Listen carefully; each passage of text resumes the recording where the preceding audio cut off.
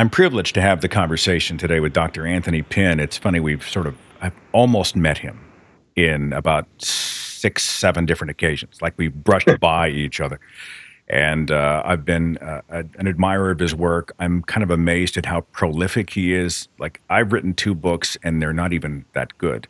He's written a library he's written and edited a library of books. He's done all this speaking and activism. And I'm like, where do you find the bandwidth? You know, and yet he has found a few minutes for us here.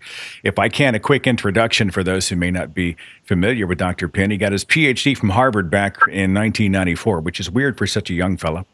He has uh, an MA and Master of Divinity from Columbia. He is an educator of religious studies and humanities. He's a professor at Rice University in Houston the director of research for the Institute of Humanist Studies think tank in Washington D.C., and he has written and or edited uh, what is it about 30 books or so, Dr. Pinn? Is that correct? How does one write or edit 30 books?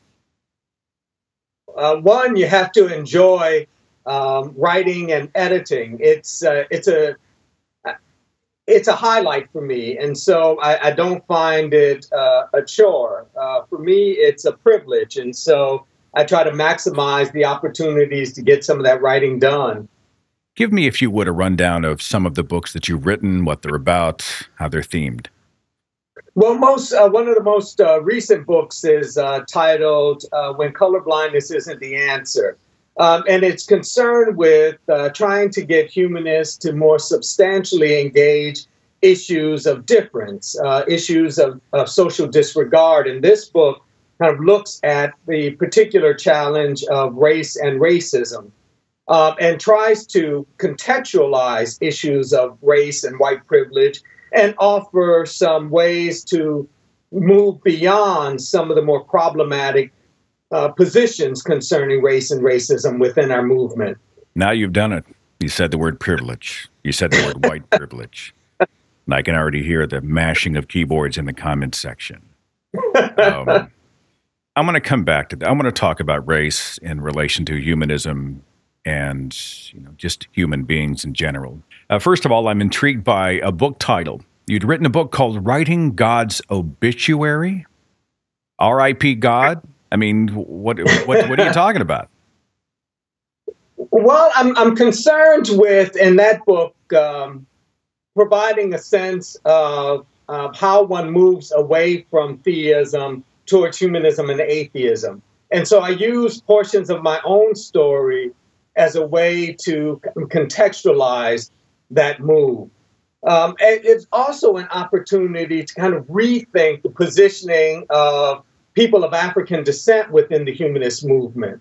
We tend to downplay the significance of that population, tend to misunderstand historically how long uh, African Americans have been involved in this uh, philosophy of life. And so I use my own story as a way of getting at how African Americans move in this direction, what some of the challenges are in terms of that sort of movement. And for those reading the text who are not humanists or atheists, I, I hope it serves to kind of humanize humanists and atheists. I'm a big fan of Sam Harris. Uh, we disagree, we part ways, you know, here and there, but I'm a fan of his writings and I appreciate his activism. He's been a harsh critic of quote unquote identity politics. We define it for our listeners and viewers and get your take on identity politics, Dr. Pinn? Well, I can't speak for him, but um, it, it, seems to me that a common understanding of identity politics involves an effort to use uh, categories, social categories of difference, as a way to think about public engagement in public space. That is to say, to use race as a way of measuring the American dream, using race as a way of measuring the democratic process, using race as a way of explaining and exploring how populations move through life within the context of the United States. So, singling one specific demographic out, an identity per se, to speak specifically about the challenges and opportunities they have perhaps because and of understand and it's a it's a process of understanding how particular social categories like race have impacted life options for a population.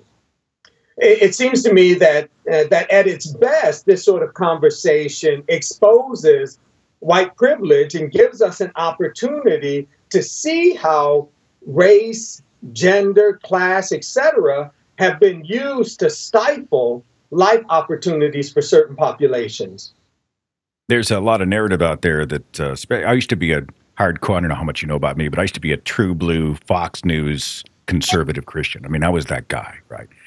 uh, you know, I listened to Rush Limbaugh and, and Michael Savage, and I was a fundamentalist Bible believer. And, you know, we used to speak very much in black and white terms, you know, binary terms, mm-hmm. uh, oversimplifying extremely complicated and nuanced things. Poor people, pull yourself up by your bootstraps. Some of the most, some of the greatest success stories in the history of humankind came from nothing. There are no excuses. You know, we used to to have this sort of whitewashed mm-hmm. Mm-hmm. narrative about poverty, and you know, we were blind many times, willingly so, about the societal blockades placed in front of people who, mm-hmm. you know, the deck was stacked against them from day one. This being a very real thing, right?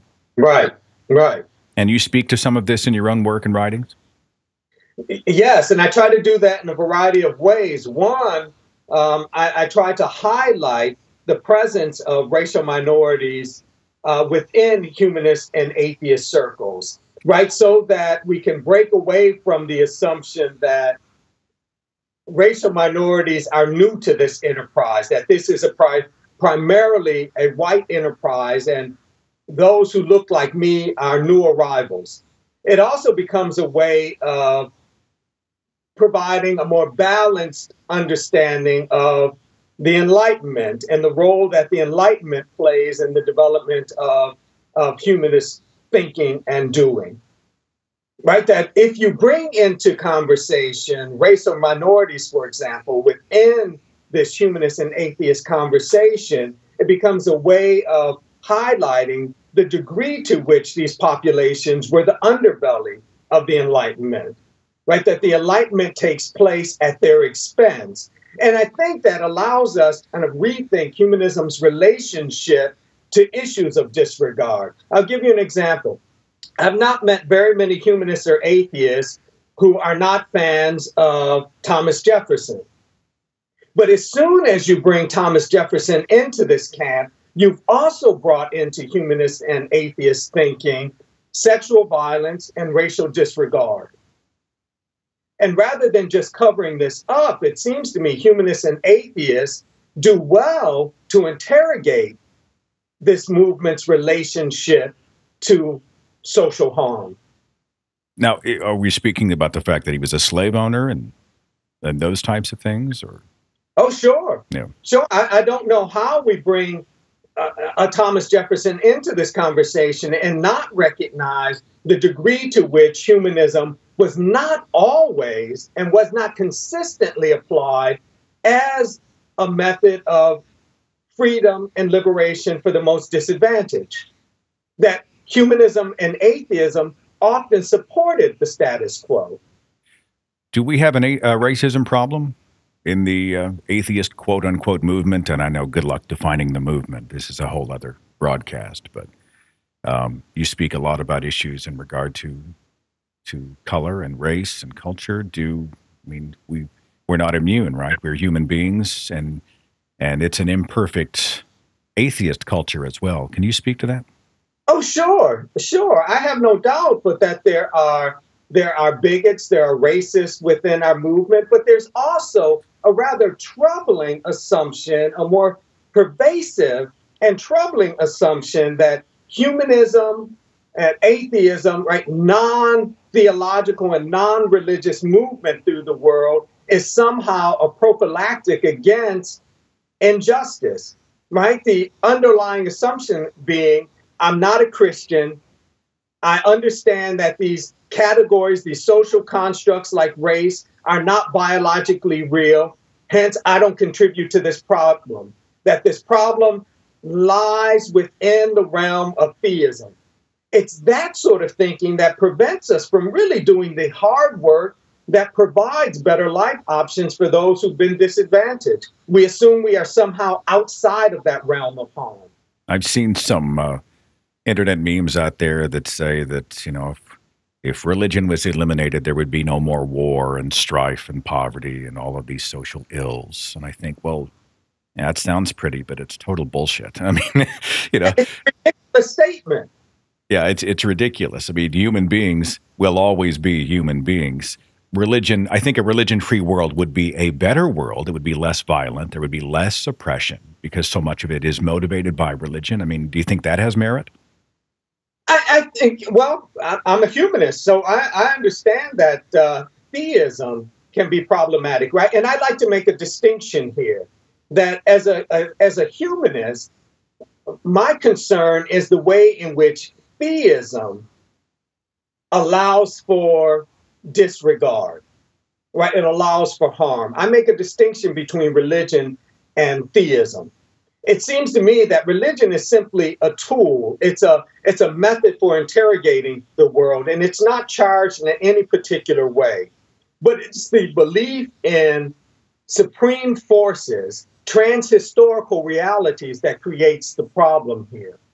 But I'd also say that one doesn't have to believe in gods or God in order to do harm in the world.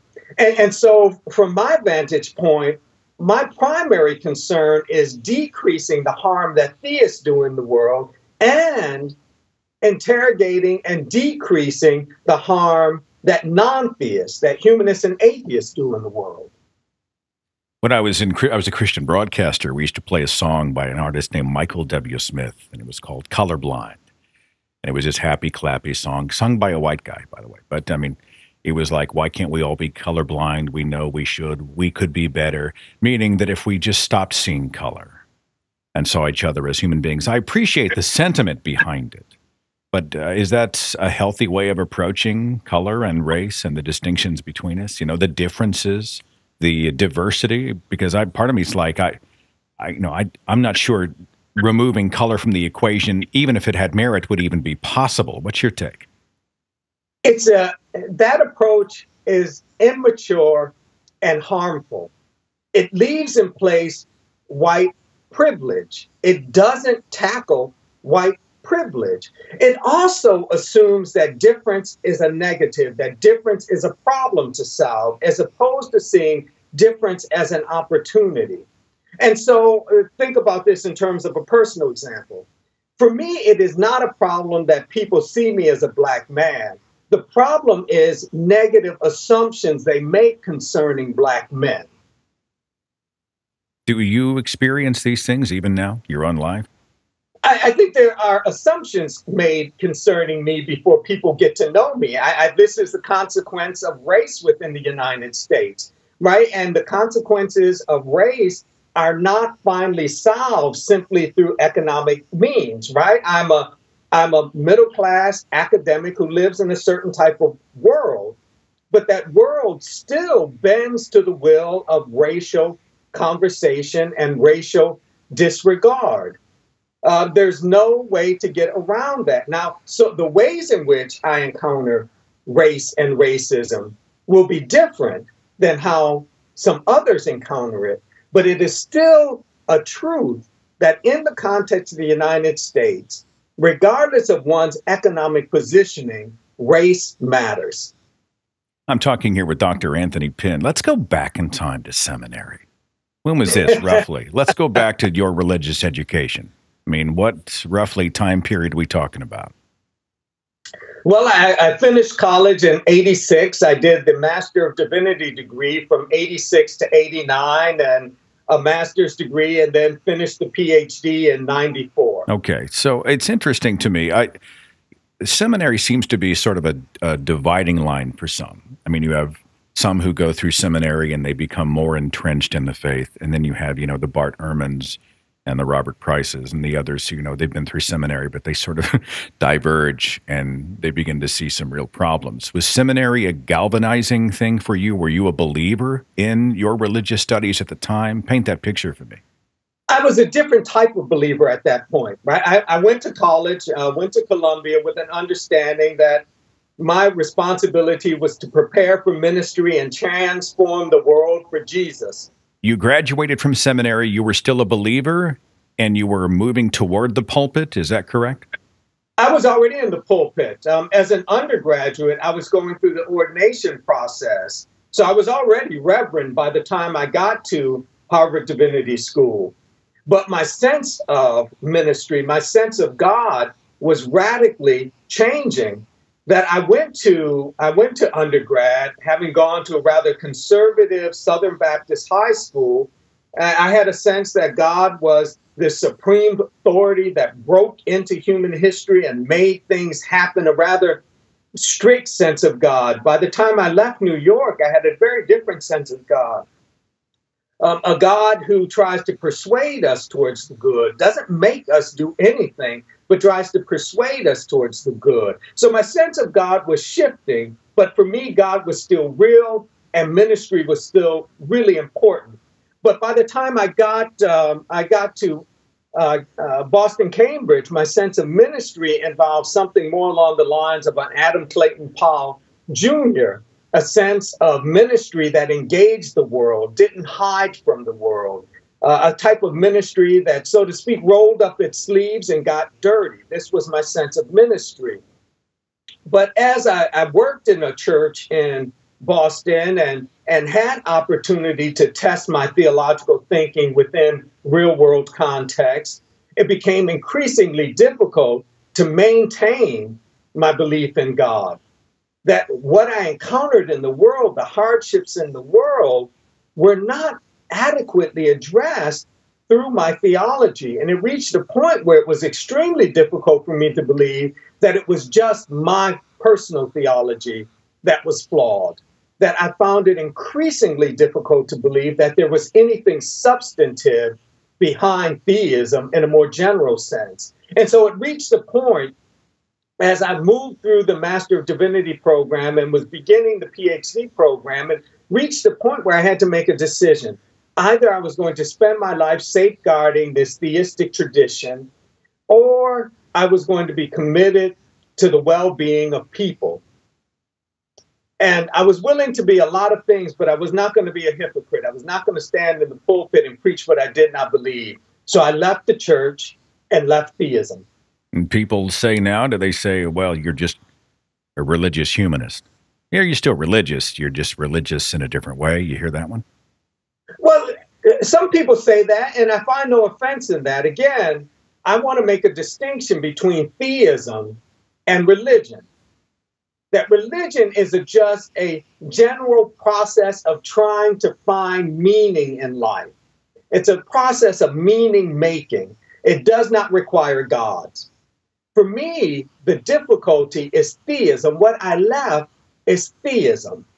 So, using a religious construct like so many, like the UU Church and other organizations and people who are using a religious construct for real world endeavors to frame the human existence, that in your mind has merit then? I, what I, I don't have a difficulty with it. I, I mean, I, I, don't either. I think you and I line up, right? I right. honestly, if I, think tradition, ritual, um, structure, call it religious structure, whatever. I think it has a lot of merit, and you, you know, you can yeah. use these things to help build a foundation on which you can provide good to the world. I buy yeah. that. Well, for me, this this theological language fills a gap. It has short term significance, but I think over the long run, humanists and atheists have to develop their own vocabulary and grammar for capturing the wonder of life, for addressing the more affective or emotion driven dimensions of our existence. And I think for me, where the UU has fallen short, and I say this as a UU, is that it has not done an adequate job of developing an approach to celebration, an approach to life that is uniquely its own. It's Christianity light. The other criticism I have of UU is it seems extremely reluctant and hesitant to say, this is factually wrong. I mean, it's got such an open tent, which I appreciate. But if you see something that has been demonstrably debunked. We know this is not true. You know, someone walks in who has, let's make an extreme example. The flat earther walks in and they say, "Yes, come in. Your your opinion, your perspective is welcome here. There's a seat at the table for everyone." I get that you're welcome, but not all ideas are meritorious ideas, and this is a challenge with the UU Church. Do you have an opinion on that one? That has not been my experience within UU circles. Um, from from my vantage point, the challenge within UU circles is is the development of something that is uniquely their own when they it is a tradition that holds a creed of no creed. That is to say, it, it's based upon uh, a collection of principles that work to secure the best of existing traditions, right, without strong disregard for these traditions. And so it doesn't have anything that is uniquely its own. This is the difficulty from my vantage point that I've really not encountered UUs who would embrace uh, flat Earth theories. Well, I mean, I'm right? not saying they'd put them on stage or anything like that, but uh, you know, if you bring in Eastern religion, you bring in the fundamentalist Christian, you bring in whoever else walks in the door and say we're all welcome. I buy that. But doesn't the UU sort of structure want to give voice to a great number of different positions, theological or otherwise? I mean, isn't it? Well, it's it's it's it has a theology that is expansive, but it has a commitment to issues of justice and freedom, right? And so all of these mindsets, all of these philosophies of life are funneled through a central question does this, on a moral and ethical level, move us towards justice and well being? So it's not a position, from my vantage point, that treats all positions as equal to the extent all positions don't help us advance justice. Let's talk about the black church. You know, I've had conversations like these with Mandisa Thomas and Alix Jules and others, and we talk about the importance the church the church's role in civil rights through the decades, providing a hub, providing sanctuary, rallying points for those who were being discriminated against. The church played a very critical and important role. And yet, in many cases, the church is continuing to pitch, and you can correct me if this is if you feel this is wrong, they're pitching ideas theological or otherwise, that are harming people, often harming the very people who are its greatest proponents. Can we talk about the black church then and now? Well, let's talk in terms of black churches, right? There is no the black church. There are black churches, a variety of denominations that don't theologically agree, right? So I'd, I'd want to preface it by that. Absolutely. I'd absolutely. Say, I'd also want to say that we overemphasize the significance of black churches during the civil rights movement. Even Dr. Martin Luther King Jr. acknowledged that the vast majority of black churches were not involved. Oh, I never heard that part before. They were not, the vast majority of black churches were not involved. We had always come to understand that this was where this these were the rallying points all across the South, especially. Well, let's let's let's break this down. So, one, the vast majority of black, uh, black churches were not involved. That not all black denominations agreed with Dr. King's approach, right? So they were not all involved. And so it's also fair to say that at times what was valuable about these churches involved two things. They offered a space for organizing and they provided a quick a, a, a, way to gather people quickly, right? That information could be spread quickly through church mechanisms. And they provided a space for meaning, uh, for meetings, right? We can say that, but we cannot say that the vast majority of churches were involved. It, it, it, it allows us to dismiss humanist and atheist voices within this movement. So, for example, what is the civil rights movement without A. Philip Randolph? And he's not alone. He is not alone. Uh, and, and so, again, I'd want to modify the role that black churches played, right? That the vast majority were not involved. But the uh, narrative is that, you know, the church was there for us when no one else was. And uh, there's something sort of sacred. I mean, it now, according to um, a great many. If you now say that, you know, hi, I'm Dr. Anthony Pinn and I'm an atheist and I'm black, many people say that you have not just betrayed God, but you've also betrayed your race. Is there any truth to that? Well, no, but you know, we don't have to abide by such ignorance, right? That well, I'm that, not saying the statement's true, but I mean the the narrative is real, correct? Well, but but here this is what we have: that black churches have had good PR. That is not the same as being historically factual. They've had good PR. All right. Excellent PR. PR that has extended the assumption of their reach beyond what is historically accurate. So they're the taking credit. They're taking credit for moves they may not be responsible for. Exactly. And, and again, it dismisses it dismisses a significant portion of the black population without belief in God who was also involved in, in activity during the civil rights movement.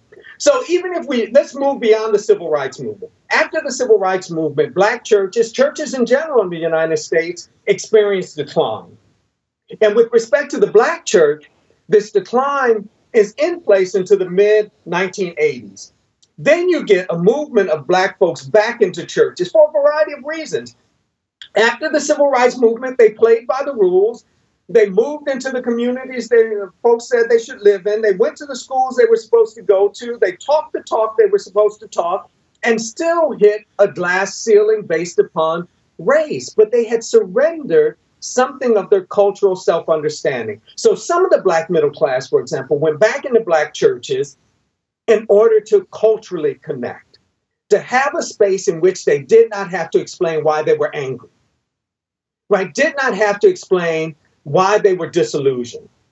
It is not safe to say that all of these folks went back because they believed what they were told theologically, but there was something much more secular at stake cultural connections and social networking. Nobody and so within, no, I'm sorry, go ahead.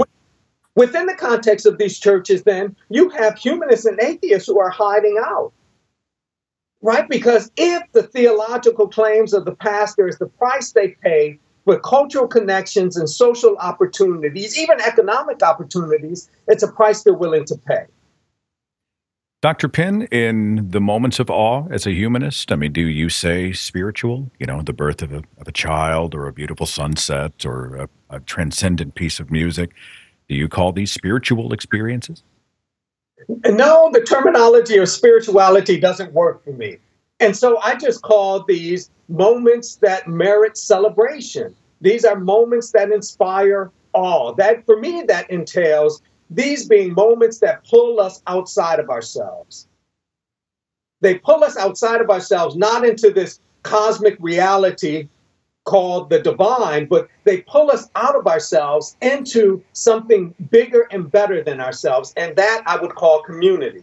That these are moments that target us, that humble us, and push us into a greater sense of being. And this greater sense of being involves a larger collection of life, community. Now, how can you experience true awe without God?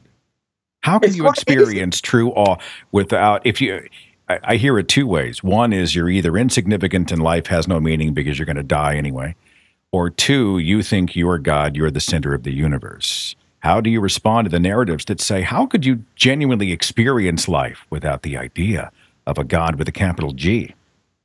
All we have to do is look at the historical record. There are lots of folks without belief in God who did just fine. right?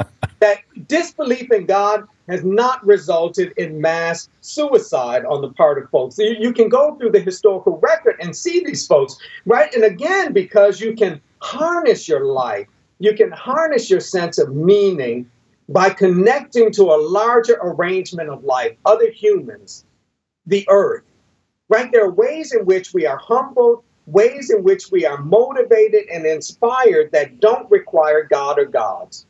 Is this sort of the uh, the theme that you take when you're teaching the you know humanistic studies, the you know embracing the moment? You know, uh, uh, taking charge of life. We are only here for each other. How do you frame this for your students and those you speak to on the lecture circuit?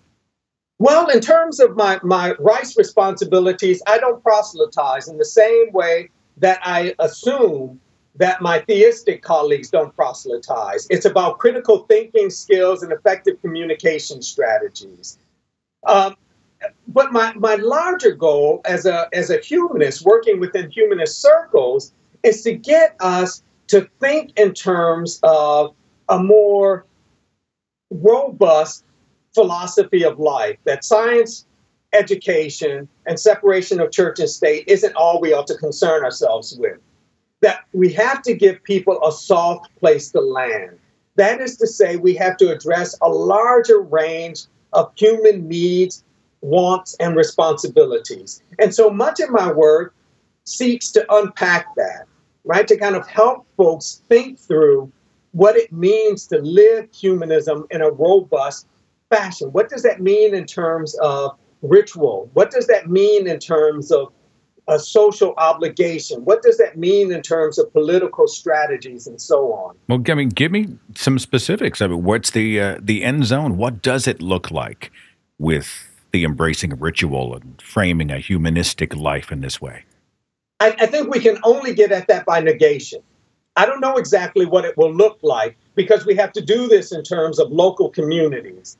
And so, from my vantage point, from my particular context, I can't tell humanists across the country what this ought to look like for them. What I can suggest is that we might be able to do this by negation. We know what it doesn't look like. We know it doesn't involve embracing racism, sexism, homophobia, etc. We know it doesn't involve that. We know it doesn't involve simply belittling and mocking theists. It's got to be more robust than that. That it cannot involve political positions and political conversations that are not concerned with those who suffer most right? So we can do this by negation. We know what it doesn't look like. Would you support, like, I mean, if, if someone involves themselves and engages in community as a humanist, uh, especially those who've exited, often with difficulty, religious cultures, they're nervous. I feel like I'm going back to church. This is atheist church. I'm just another sheep part of the flock. There's a shepherd on stage, you know. Oh, look, they're passing the hat. There's special music. This seems awfully religious, and we're going to we're coming back to that term religious. And they have real trepidation. They bring a lot of baggage. They bring often a lot of sure. hurt. You know, how do you approach that? Sure. First, I understand and appreciate that, but I also then want to push um, against one of the assumptions embedded in that thinking that only the religious have ritual which is far from the case. Anybody who goes to the American Atheist Convention every year or goes to the American Humanist Association convention every year, participates in the activities, is involved in a ritual process. Ritual is simply repeated activities and founded space. So to sit together, to listen to that lecture, or to sit together and share a meal. That is ritual activity. So one does not have to believe in God, one does not have to go to church in order to appreciate ritual. We as humanists and atheists do it. No, don't theistic my- organizations and entities, they're great though at stamping that brand of ownership on the things that human beings do naturally, aren't they? And we play along with it by assuming they're right. Right? We assume that only the religious are involved in ritual. Only the religious can be concerned with life meaning. We've surrendered that to them. And from my vantage point, that makes absolutely no sense. I, I want to be part of the solutions out there. What can I do? I mean, in relation to humanism, in relation to trying to eliminate hate, trying to promote the best in people, the best ideas out there and in myself, trying to admit when I'm wrong, trying to just be better. Uh, you know, what do you think? I mean, what can I do? What can our viewers and listeners be doing to to be a part of this sort of uh, evolution of the human condition? Well, I'll suggest a few things. One, recognize that injustice is real and has to be addressed. Right? Recognize there is a problem Secondly, recognize that we participate in this problem. Third, get informed, right? That it is insufficient for humanists and atheists to say, I just don't understand race. I, I don't know very much about it. Well, that's the starting point. It's not an excuse for remaining ignorant. Right? In the same way that humanists and atheists would reject the idea of someone saying, right, you know, I really don't know about evolution. And so I, I don't really, I, I, have no obligation to do anything related to this. Uh, we would find that objectionable. In the same way, a lack of information concerning racism or sexism or classism, for example, is an invitation to get informed. Read, study, but don't assume that these disadvantaged populations have an obligation, one, to excuse your ignorance, and two, to teach you. Get information. And when you say, as you said in your speech title and your book, color blindness is not the answer, how would you sum up the answer? What is the answer in the humanist movement, in atheist movements, in uh, the human condition? What's the answer? The answer is struggle against injustice, that this is perpetual, right? That there will, we as human beings will find ways to operate in accordance with disregard. And so for me, the key, the victory is awareness of our circumstances and a commitment to saying no to injustice and struggling against it. That for me, it's not about outcomes. I can't predict the outcomes, but what I can say is our last best effort involves struggling against injustice, an informed and committed struggle against injustice. Dr. Anthony Pinn, you are a pleasure to speak to. This is how I format many of my shows. I just invite people much smarter than myself and I just let them talk and when I take credit for their moves. So, you know, once again, I'm just going to check that off my box. And so thanks very much for that. No, it really is. Uh, and I again, I, I feel like I should apologize for all the opportunities that I almost jumped in there, but I just didn't want to be that guy. But uh, if I see you at the American Atheist Convention or on the road, I promise uh, the next time I'll make every effort to bust through whatever circle is pining for your attention and shake your hand in person. It's an honor to be able to have this conversation, and I so appreciate your work. Thank you, sir. I enjoyed it. I'll look forward to chatting with you.